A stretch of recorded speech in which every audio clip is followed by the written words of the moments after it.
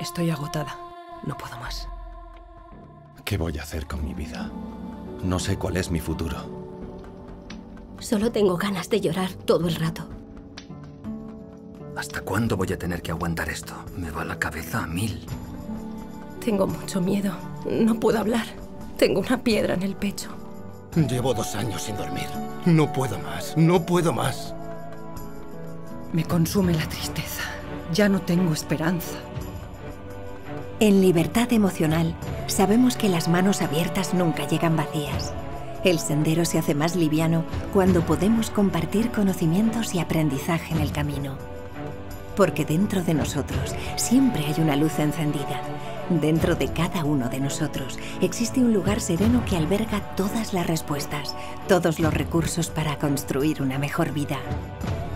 La Asociación Libertad Emocional se ha convertido en un punto de encuentro y divulgación de las técnicas de transformación y crecimiento personal más vanguardistas. Recursos que beben de la neurociencia, la biodescodificación o la programación neurolingüística, entre otros. Un método flexible y en constante crecimiento que se adapta a las personas, a su manera de sentir, a su lenguaje y recursos naturales. Abrimos nuestras manos para compartir las técnicas más innovadoras, rápidas y eficaces para desencadenar el cambio. Tú solo tienes que elegir a quién te acompañe en la aventura. Búscanos en libertademocional.es. Transformar tu vida está en tus manos.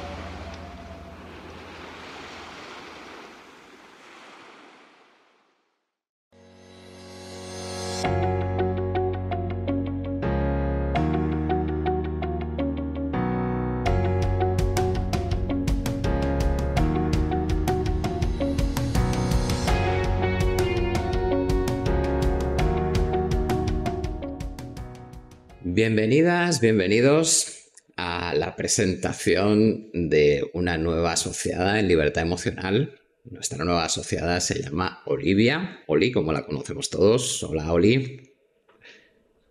Hola, Paco. Y pues como ya es tradición, hacemos este vídeo entrevista para que la conozcáis y veáis cómo ha sido su trayectoria e incluso pues para que nos comente eh, cómo hace su propia terapia, qué cosas incorpora a ella más allá de lo que enseñamos en nuestra formación de terapeutas. Así que vamos a empezar con las preguntas y la primera de ellas es cómo llegaste a realizar el curso de terapeuta extendido en libertad emocional? Pues mira, eh, fue a consecuencia de ver varios vídeos por YouTube. O sea, yo durante toda mi vida vivía situaciones que no le encontraba una respuesta. Entonces no sabía realmente la respuesta, pero no me conformaba con lo que vivía. Y un día buscando por YouTube encontré vídeos de libertad emocional. Fui viéndolos y uno tras otro y uno tras otro y ya incluso llegó a formar parte de mi día a día. O sea, yo iba a, trabajar, me ponía el audio y escuchaba vídeos una y otra vez, una y otra vez. Y poco a poco iba captando esas respuestas que yo necesitaba. Entonces me llevó a la página, encontré la posibilidad de, de hacer el curso y no me lo pensé. O sea, ya había recibido respuestas a tantas cosas que dije, aquí está mi lugar. O sea, no tuve ninguna duda. De hecho, lo encontré más tarde el curso empezó en septiembre yo lo vi sobre noviembre y fue como, por favor, ¿puedo entrar? Sí, sí, pues venga, allá que voy. o sea que así fue. Pues la verdad que tu caso es mm, de los peculiares, porque tú vienes del mundo de la hostelería, no tiene nada que ver con las terapias. No, yo en mi vida he hecho muchas cosas, aparte de la hostelería, en mi vida ha habido muchos cambios y de hecho la hostelería fue producto de un gran cambio. O sea, yo necesitaba, yo a los 23 años, mi vida se podría decir que ya estaba más o menos planificada. Tenía mi casa, mi pareja, mi trabajo y estaba todo perfecto. Pero me di cuenta de que no era lo que yo quería. O sea, teniéndolo todo, para una persona de mi edad, yo me sentía mal. Y entonces decidí venderlo todo e irme a vivir a Filipinas. Y ahí fue el primer gran cambio de mi vida. O sea, allí fue encontrarme conmigo, eh, vivir situaciones que no me había imaginado, estar tan de cerca con la pobreza y poder vivir una clase social para mí desconocida, ese choque eh, a mí fue lo que me hizo casi volverme loca. O sea, decir, yo no pertenezco a esto, pero tampoco soporto que haya gente muriendo de hambre. Entonces volví a España en época de crisis, que además me decían, no vengas, no vengas, que, que hay crisis, que no hay trabajo. Y decía, no, o sea, yo tengo claro que yo voy a trabajar. Entonces miré un poco alrededor y vi que la hostelería era de lo poco que se estaba moviendo. Entonces, como yo tenía formación gestionando empresas, dije, ah, pues yo creo una empresa de hostelería, porque yo de hostelería no sabía. O sea, yo sabía de la gestión de empresas. Y ahí entré y fue otro segundo gran aprendizaje, porque yo vine con la idea de intentar salvar el mundo a través de una empresa. Y me di cuenta de eso, de que nuestras vivencias todas nos condicionan hacia dónde dirigimos nuestra vida. O sea que has dado un cambio impresionante porque ahora tu dedicación fundamental o casi completa son las terapias. Totalmente, sí, sí.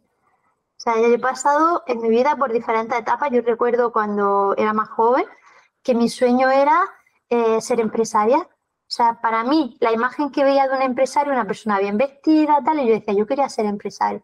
Y de hecho, lo fui. He ido consiguiendo muchas metas en mi vida.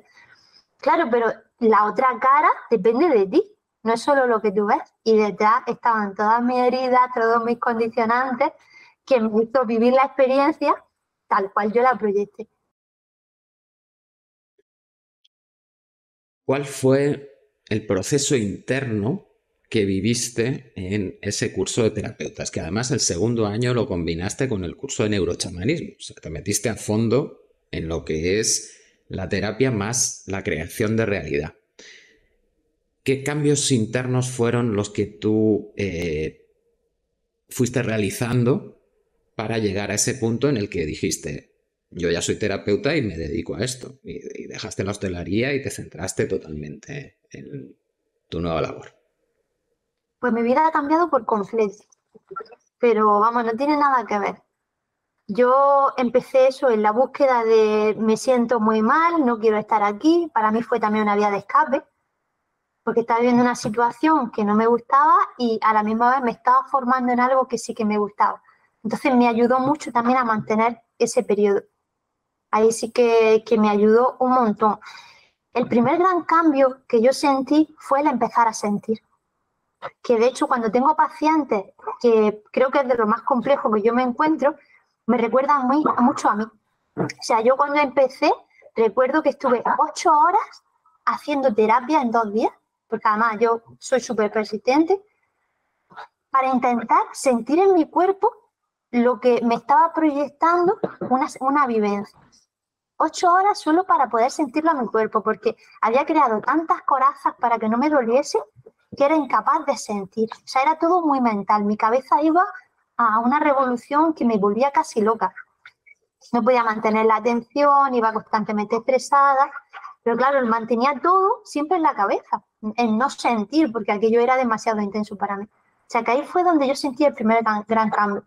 Después fui practicando todo, o sea, todo lo que iba aprendiendo, lo iba siempre practicando, iba investigando, eh, a ver si era de mis vivencias actuales, si eran transgeneracionales, o sea, yo fui siempre a lo más profundo. O sea, era decir, te vas a meter en el barro, pues yo hasta el fondo. O sea, yo decía, ya que he encontrado esto, quiero cambiar mi vida. O sea, no había visto hasta ahora una herramienta que para mí fuese tan profunda y tan rápida. Entonces dije, esta oportunidad no la voy a dejar pasar. Y para poder practicarla con otras personas, qué mejor que vivirla en mí. Exacto. ¿Qué fue lo más complicado en ese camino hasta llegar a ser terapeuta? Pues para mí no ha sido complicado. No lo ha sido, quizá porque mi vida era complicada y para mí era una vía de escape. Entonces era el si me encuentro mal y encuentro de dónde procede y además lo puedo trabajar y puedo hacer el cambio, es un regalo. Entonces no encontré complejidad. Para mí era eso, era el ir resolviendo y claro, tenía tanto que resolver que no me daba tiempo a mirar atrás porque era una cosa, vale, termino con esto, pero ya tengo otra y tengo otra. Ahora sí, conforme ha ido pasando el tiempo, miro hacia atrás y digo, wow, todo lo que he podido cambiar. Sí, la verdad que fuisteis un grupo en el que eh, la terapia que realizabais entre vosotros fue muy potente. Estuvisteis muy implicados y, lograsteis grandes cambios. Sí, sí, sí. Luego entre nosotros también nos aportábamos, nos apoyábamos, se nos ocurrían terapias nuevas, fusionar. Y la verdad es que sí, que hemos conseguido ahí también evolucionar nosotros. Incluso yo creo que con, con alternativas que ni siquiera habíamos pensado desde el principio, surgieron tal cual. Ese es el, punto enriquecedor, ¿no? De, colaborar con los demás, que, que, yo comento en las clases, ¿no? Que, de hecho, pongo el ejemplo, que cuando yo empezaba con, con las clases, que tenía una mentalidad como más estructurada, lo que te sale es intentar corregir, porque tú no lo harías así. Pero si te contienes, llega ese momento en que dices, pues ha funcionado. Y lo ha hecho totalmente diferente. Y entonces aprendes que la terapia va más allá de las técnicas que usas, ¿no? Que, es esa conexión que tienes con la otra persona. ¿Cómo vives tú ese punto en la terapia? Pues mira, después del curso de neurochamanismo, o sea, a mí me pregunta exactamente y tampoco sé definirte, porque al hacer los dos cursos a la vez he ido haciendo tanto cambio que no sé si es de, de un curso o es de otro. Pero sí que el poder poner en práctica todo lo que se me ocurra. O sea, no te puedo decir que una terapia mía sea estructurada. Yo en la terapia me abro. O sea, energéticamente lo podríamos decir, ¿no? Como eso, como el abrirte. Pero bueno, para la gente que sea menos energética es empatizar con la otra persona. Que yo empatizo contigo y siento a través de ti. Entonces, si yo estoy sintiendo lo que tú necesitas, te voy guiando y voy viendo tu avance. Y si veo que por ahí no, lo intento por otro sitio. Entonces no hay nada que tenga estructurado porque cada persona me está mostrando algo diferente. Eso sí me requiere de plena atención. O sea, una sesión es estoy contigo y estamos conectados completamente. Lo que tú sientes, yo lo siento. Entonces es como dejarme llevar y a la misma vez sentir a través de ti, teniendo en cuenta mi experiencia de cómo yo lo he resuelto en mí. Me parece, a mí las sesiones me parecen mágicas, todas, todas. Además, parto de empezarla sabiendo que algo muy bonito va a pasar siempre. Sí, la verdad que tu caso es, pues eso, muy especial porque al combinar los dos cursos es como una apertura, ¿no? Eh, lo que es el curso de terapeuta yo intento que sea como bastante lógico, y poco a poco voy introduciendo la parte de la intuición, la parte del subconsciente, la parte de la conexión con los demás, que realmente se puede hacer. De hecho, eso lo vimos el primer año, ¿no? Como sentir las manos y sentir la energía. Pero claro, cuando introduces también la parte del chamanismo, que ya es mucho más directo, ese contacto es como que está ahí, ya ni, ni te lo cuestionas, pues se abren posibilidades en la terapia muy grandes. Pero, y esto es una pregunta, ¿te has encontrado eh, diferente tipo de actuante de las personas que vienen a verte a ti? Eh, muy cerradas a lo que es eh, ese enfoque más chamánico o, que necesitan el enfoque chamánico y cuando tocas la parte más emociones o más mente se cierran? ¿Cómo, cómo es tu experiencia? Pues normalmente, yo para empezar no se lo digo.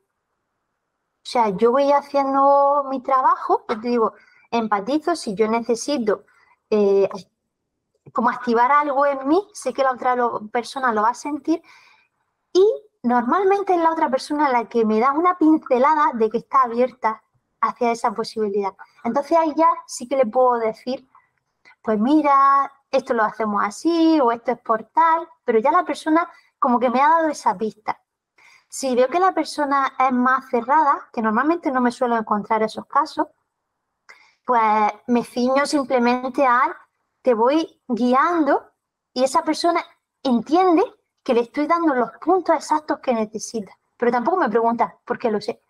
Entonces, pues no se lo tengo que explicar. Porque tú ya atraes directamente a los que resuenan contigo y tu manera especial, ¿no? De, de trabajar.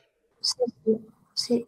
De hecho, de todos los, estudiantes que he tenido estando en práctica, solo a una persona le dije que no iba, no iba a trabajar, pero porque la persona era, esperaba como que yo fuese a cambiarla. Y es muy importante en la terapia la implicación.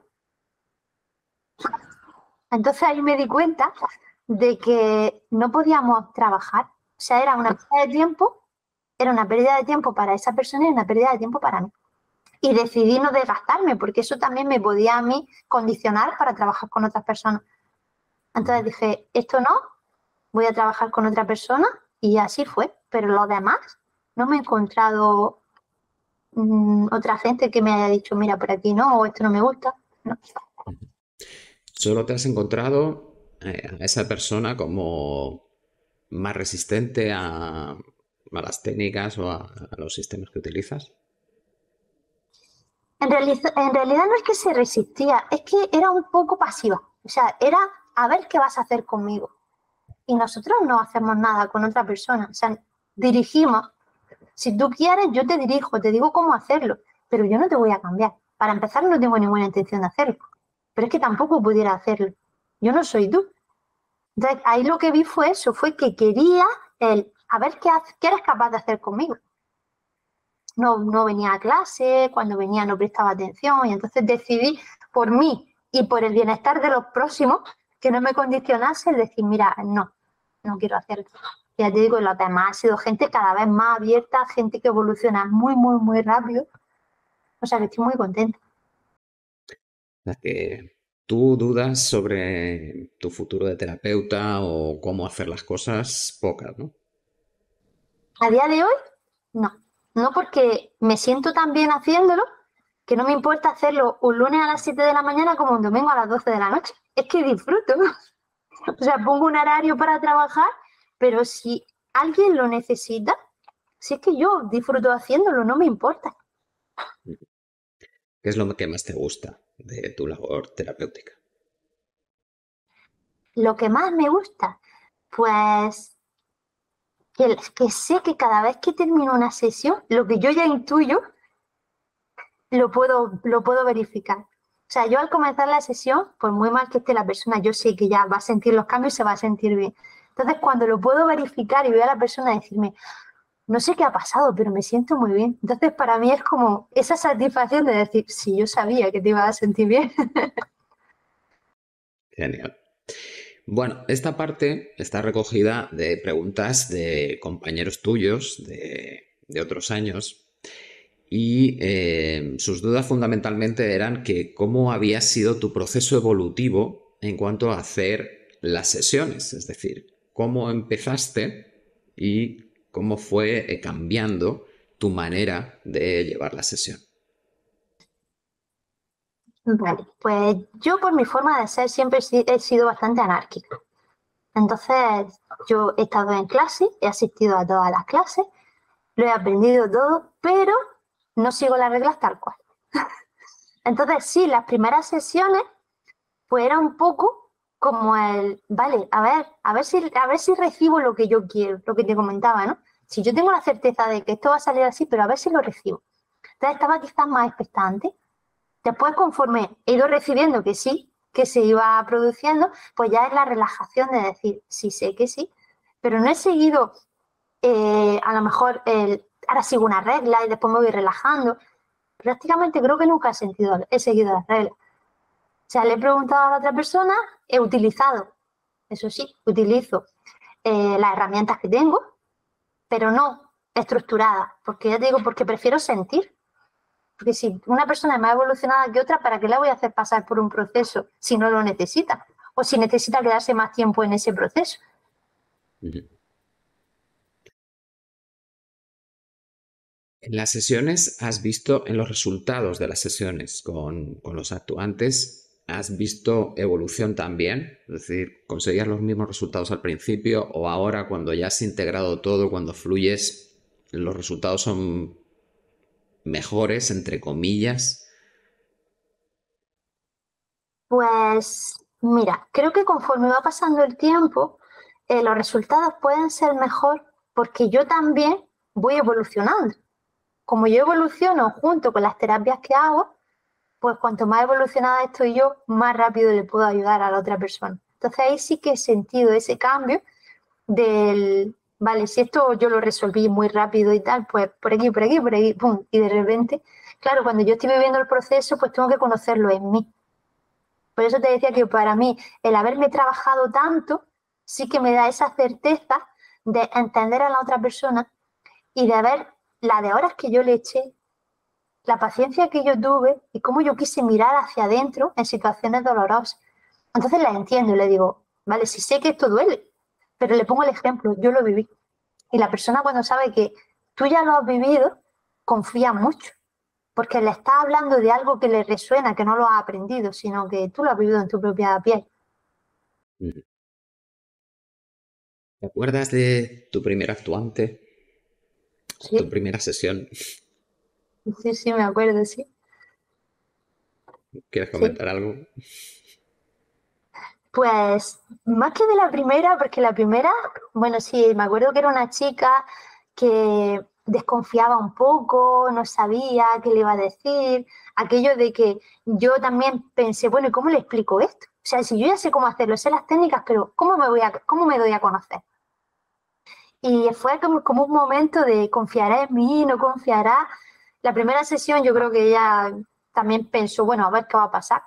Pero ya en la segunda sesión ella sintió cambio y ya fluyó mucho. De hecho, con varios pacientes somos amigos. O sea, ya hemos creado esa conexión de que somos amigos, de que nació una bebé, que yo atendía a una chica, además con terapia de duelo. Cada vez que me manda una foto, yo siento una conexión con esa niña como si fuese algo mío. O sea, que es que de ahí ya nacen también otras relaciones. ¿Cómo gestionas esa parte? Porque dentro del mundo de las terapias hay como, sobre todo en lo que nos llega a películas y, y oficial, ¿no? Como que hay que mantener una separación entre la persona que viene a verte a ti, porque si te implicas demasiado, entonces puede haber problemas. ¿Tú cómo vives eso? Pues la verdad es que ni siquiera me lo planteo, porque ten en cuenta que yo me abro en la sesión, empáticamente me abro y siento a través de la otra persona. Entonces no me planteo si luego la relación, si va a seguir, si no va a seguir. Hay relaciones que fluyen, hay relaciones que automáticamente terminan y estamos muy agradecidos por conocernos, pero no queda ningún vínculo más. O sea, no pasa con todo el mundo. Entonces no me lo llego a plantear por eso, porque abrirme sí que me abro, pero luego hay personas que resuenan más contigo y como que van un poco más allá y ahí es donde se crea esa conexión y esa amistad. Bien, ya has comentado antes que la importancia, ¿no? de la implicación de, del actuante que, que viene a ti. Y eh, pones alguna propuesta para que ellos continúen por, por sí mismos eh, al finalizar las sesiones. ¿Cómo, cómo organizas esa parte? Eh, pues sí, normalmente cuando terminamos la sesión, eh, sobre todo le- lo que les suelo pedir a todos es que lleven un registro de su vivencia, porque ahí podemos ver los cambios que hemos, que hemos estado practicando en la terapia si realmente se llevan a cabo. Mm. Que yo tengo la certeza de que sí, pero cuando ellos se van tomando nota, ellos también lo van integrando. Y a, a raíz de ahí también va surgiendo esos pequeños hilos de donde tenemos que tirar que para la siguiente sesión facilitan mucho el trabajo. Eso y también les pido muchísimo que me especifiquen los sueños que han tenido. A través de los sueños después les suelo hacer una interpretación y unido con lo que han vivido y con lo que les está proyectando el sueño, solemos averiguar situaciones que probablemente se hubiesen dado con muchas sesiones, pero es que podemos acceder de una forma muy sencilla y en poco tiempo. Entonces les pido esa implicación, que al final es también como estar muy consciente de lo que tú estás viviendo. cuéntanos un poco más de, de esa interpretación de los sueños, de cómo la integras. Vale, pues es que cada sueño es diferente. Entonces mm, me dejo sentir, ahí ya también es mi propia intuición. Entonces, claro, voy sintiendo a través de la intuición, a través de lo que estoy viviendo y les voy preguntando. Intuitivamente lo que yo voy más o menos pensando que puede ser y automáticamente aparece un recuerdo, aparece, me contó mi madre que y ya por ahí solemos tener la información que necesitamos. eh, ¿te encuentras más sanaciones rápidas? ¿Hay procesos largos? ¿Hay milagros? ¿Qué, qué es lo que encuentras en tu práctica? Pues mira, me encuentro de todo. Me encuentro de todo, porque hay eh, personas que a lo mejor tienen miedo a conducir y comienza a trabajar con ellas y ocurrió en una situación determinada. Trabajamos, tenía miedo, tenía una chica que tenía miedo, ella tenía miedo a ir de copiloto, entonces no lo entendía. Vale, pues ahí empezamos a tirar del hilo, tuvo una vivencia con el padre, trabajamos y me dice, me subo en el coche, da igual con quién vaya, aquello desapareció de mi vida y lo hicimos en cuatro sesiones. O sea, perfecto. Luego hay sesiones que la vivencia no es tan clara y está anclada en su proceso de, desarrollo, necesita más tiempo. Y recuerdo con una chica que en la primera sesión pudimos hacer todo el seguir todo el proceso completo y aquello se desactivó y yo decía, no puede ser, o sea, la que no me lo creía era yo. Porque decían, es imposible. Tenía una capacidad de sentir y de poder liberar que a mí me, hizo cuestionarme, pero ¿en serio? ¿Puede ser así? Y sí, sí fue así. Pero ella tenía esa característica, que no es muy común, pero que se da. Sí, y casos de ese estilo son los que me han hecho a mí reflexionar hasta qué punto son potentes las creencias. ¿no? tenemos referencias aquellas de con que toques a una persona, ¿no? Ya, ya se puede producir una sanación. Y, justo es que hay veces que te encuentras esos casos que son como sorprendentes, que dices, impresionante como los suel es, es, una respiración y ya está. No, no pelea, no. Es, es todo fluido completamente. Y hay otros casos que casi les tienes que enseñar de primeras a conectar con su cuerpo, casi qué es una emoción, por qué se está yendo, ¿bien? Incluso me sale, ¿no? A veces preguntar, ¿por qué sabes que te sientes bien y no te sientes mal? Porque personas que llegan así, que no saben distinguir. Bien, es, tan automático el procesamiento mental que, no, no saben qué está pasando en su cuerpo. Así que la verdad que sí, que son casos que como que te dan un aprendizaje ¿no? A, ti como terapeuta. Es increíble. La verdad es que tenemos una gran oportunidad porque a través de tantas personas, pues claro, a nosotros también nos hace cuestionarnos nuestras creencias y el decir, wow, si lo acabo de vivir, pues yo también lo puedo aplicar en mí. Muy bien. Tú tienes una terapia especial, que es la terapia de duelo. Bien, que de hecho participaste en el último congreso, en el segundo congreso de libertad emocional en acción, al que todavía podéis apuntaros para ver todas las ponencias y tenéis eh, bonos activos. Eh, en ese congreso presentaste tu, terapia de duelo y pues te agradecería mucho que nos dieses unas pinceladas de, cómo es. Pues sí, de hecho, eh, ya te digo, yo para mí las terapias son increíbles pero si tuviese que elegir una terapia mágica total, la terapia de duelo. O sea, sin duda, sin duda, por lo que yo viví en mí. O sea, el sentir. Yo creo que nadie está preparado para vivir una, una situación de pérdida, y menos cuando una pérdida, cuando una pérdida inesperada. Sientes que el mundo se para, pero te das cuenta de que el mundo no se para y de que tú eres insignificante ante, este, ante ese mundo. Entonces te sientes más perdido todavía. Tu cuerpo biológicamente, por lo menos el mío, actúa, pierde fuerza, eh, la conciencia casi, no eres tú. Y luego te das cuenta encima de que no eres nada en el mundo. Y ahí, ¿qué puedes hacer? Si pocas personas te van a entender. Porque hay personas que están viviendo lo mismo que tú, pero realmente no lo sienten igual que tú. Entonces te sientes muy solo y te sientes muy mal. Y yo tuve la suerte de poder estar haciendo el curso, porque yo viví la pérdida un sábado. De acuerdo que el miércoles, cuando ya no podía más, fue cuando conecté contigo. Te dije, me ha pasado esto. Y me dijiste, puedes hacer, utilizar estas técnicas y el viernes nos vemos. O sea, había pasado poco menos de una semana y en una sesión, yo recuerdo cuando intentaba contar lo que me estaba pasando, casi no podía hablar. Y yo terminé la sesión con una sonrisa. O sea, para mí fue como, es imposible, es imposible. Ni siquiera me cuestioné el está bien o está mal. O sea, no, si no podía sentir, si no, no sabía ni quién era. Y de repente me voy con una sonrisa y decía, o sea, todo el dolor en mí ha bajado tanto, tanto, tanto que me siento bien. O sea, es mi realidad, porque no cambia la realidad.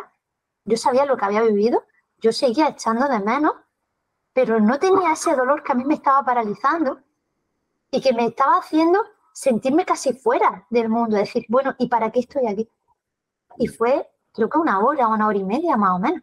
Después tuve más sesiones, pero ese cambio inicial de sentirme mm, perdida completamente a de repente poder sentirme bien. O sea, no estaba muy, muy bien, pero estaba bien. Te digo, para mí fue mágico, mágico. Cuando has contado esta historia, a mí el punto también que me, que me quedó fue esa parte cuando cuentas eh, que tú decides hasta qué punto quieres que esa emoción baje o si la quieres conservar.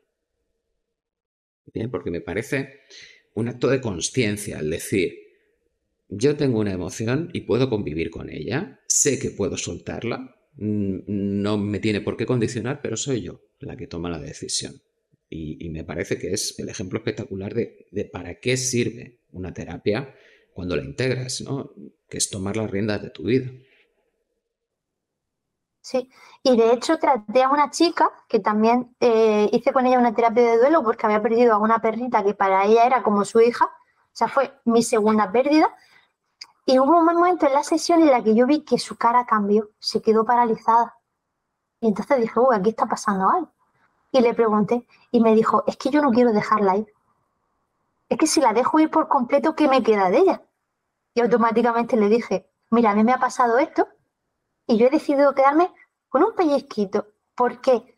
Porque para mí es lo que me hace sentir vulnerable, ¿sabes? Me hace conectar con la otra persona que está viviendo el mismo dolor. Sí, sé que tengo la capacidad, si a mí me condiciona, lo libero y me quedo en calma pero para mí me hace sentirme tú, tener ese pequeño pellizco con el que puedo vivir, pero que puedo sentir lo mismo que estás sintiendo tú. Y por eso fue por lo que yo decidí, es decir, para mí ha sido tanto cambio que necesito ser consciente de todo este cambio quedándome con esto. Y si en algún momento lo decido, es decir, mira, no, ya no quiero seguir con este, yo te digo, un poquito, sé que tengo la herramienta y lo puedo liberar. O sea, eso también para personas que piensan, igual que le pasó a esta chica, es decir, ¿cómo voy a dejar? Porque hay gente que piensa, ¿cómo voy a dejar de querer? Porque deja de dolerme. O sea, no dejar de querer. Cambia esa emoción y sobre todo aflora el agradecimiento.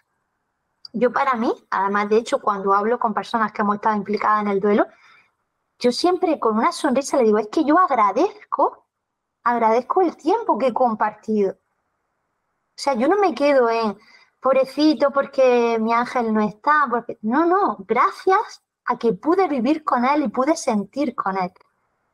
Entonces, tu vida cambia por completo. Cambia y te sientes que eres dueño de tu vida.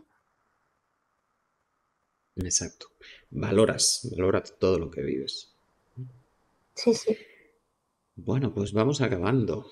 ¿Cómo ves tu futuro como terapeuta? Pues mira, lo veo lleno de ilusión. Lo veo así. O sea, estamos para quien lo necesite, para quien quiera y para quien no también. Entonces, decir, yo estoy aquí, me abro, me encanta, me encanta, y quien decida ponerse en marcha, porque digo una decisión propia, porque requiere de una implicación, pues trabajamos, trabajamos con la certeza de que va a haber un cambio muy positivo. O sea, que yo lo veo muy bien. Te lo pregunto, pero ya me sé la respuesta. ¿Seguirás haciendo la terapia de la misma manera? ¿Seguiré haciendo terapia de la misma manera? No. No. Porque de hecho, ahora mismo estoy en otro proceso de cambio yo estoy constantemente probando, eh, averiguando, creciendo y miro hacia atrás y no hace tanto tiempo que digo, ahora las terapias son diferentes para mí. O sea que seguro que voy evolucionando y la terapia va evolucionando conmigo. ¿Cómo ves el mundo de las terapias y la salud en un futuro? Bien, porque ahora mismo lo tenemos como separados, ¿no? La salud, la...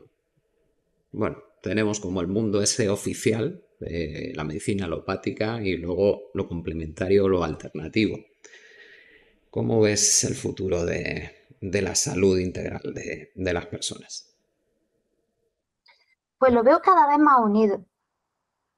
A mí se están acercando personas que absolutamente eran negadas de todo esto y se están acercando a preguntarme, oye, ¿y esto? ¿Y por qué crees que me pasa? Entonces ya empiezan a interesarse. Después dicen, ¿puedo hacer una sesión contigo? Sí, hombre, claro. Ahí ya hay un movimiento. Y cuando empieza que no eres tú quien va a buscar, te das cuenta de que hay algo que a la gente le falta dentro de lo que están recibiendo. Y cuando estamos hablando de, la salud, pues es algo muy preciado y cuando te toca muy de cerca, aunque no creas, sueles preguntar, porque no quieres perder. Entonces yo creo que ahí está viendo un movimiento, por lo menos yo lo estoy viendo, que se está acercando mucho a la integración. Y la última pregunta, ¿cómo ves el futuro de la humanidad? Te hago la pregunta por que yo tengo dividido en dos, ¿no? El curso de terapeutas. Hay uno específico que es el curso de terapeutas de dos años y luego hablo del tercer año que es ese curso de neurochamanismo, ¿no? Que es como el enlace que hay con la parte espiritual, esa parte en la que te abres a algo más que lo, puramente material y sobre todo a la creación de tu realidad. ¿Cómo ves las terapias eh, actuando sobre la humanidad? qué puedes esperar de ellas en la evolución de la humanidad? Pues mira, yo creo que como es muy individual, yo creo que va a haber un porcentaje, bueno, ya había un porcentaje de gente que estaba más abierta a las terapias, que ven el mundo de una forma diferente, otro porcentaje que se está uniendo, otro porcentaje que no tiene nada que ver con esto, que necesita más algo más científico, bueno, se quedarán conforme vaya evolucionando la ciencia entonces creo que va a haber mucha diversidad. Y también está bien. También está bien, porque probablemente de todo esto saldrá otras terapias que sean incluso más progresistas de las que todavía conocemos y nos vayan llevando hacia algo diferente. O sea que yo lo veo perfecto tal cual está, porque cada uno estamos en donde queremos estar y de cara a un futuro, pues creo que igual que estaremos donde queramos estar o donde nuestra conciencia nos permita estar. Es un placer haber compartido este tiempo contigo, Oli. Y tienes el micro abierto y la cámara para que te dirijas a las personas que tienes delante observándote y las cuentes lo que quieras. Pues nada, solo decir que, que nuestra vida está en nuestras manos, que somos los únicos responsables de lo que nos ocurre en nuestra vida y que si queremos mejorar, tenemos muchísimas herramientas donde ir para que nos ayuden. O sea, si pretendemos que el mundo venga a ayudarnos, probablemente no lo vamos a conseguir. Pero si integramos que nosotros tenemos la capacidad de buscar, de mejorar, de evolucionar, creo que podemos llegar donde queramos. Así que eso es lo que yo me gustaría que la gente entendiera y que integrara, ¿no? Que nadie te hace nada, nadie te impide llegar a ningún sitio. Solo tienes que integrarlo tú, decidirlo y decir, voy a buscar quien me ayude. Si alguien resuena conmigo y quiere que yo le ayude, yo abierta porque me encanta. Si necesitan otra cosa diferente, igualmente la van a encontrar. O sea que estamos de todo para todos. Y todo perfecto. Muchísimas gracias, Oli, las palabras preciosas. Y a todos vosotros, pues tenéis en la caja de descripción abajo el contacto de Oli, su página en la web de libertademocional.es. Y pues os animo a emprender una aventura con ella, porque seguro que podéis eh, descubrir cosas maravillosas, incluso más allá de lo que os esperáis como posible.